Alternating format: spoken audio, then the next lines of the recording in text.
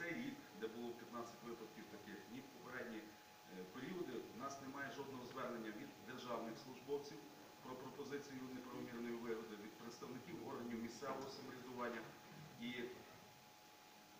е, ці факти практично десь уходять в стороні, хоча такі випадки є, і не раз ми про них чуємо. Це найефективніший спосіб тому що один, два, три випадки, коли будуть притягнуті особи, які пропонують неправомірну вигоду представниками, буде е, досить профілактично працювати е, для виконання таких випадків.